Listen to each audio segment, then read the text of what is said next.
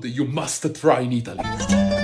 What is that? This is called the sfogliatella and it's one of the most popular pastries in Naples. It looks very crunchy. It's very, very crunchy. I don't like crunchy food.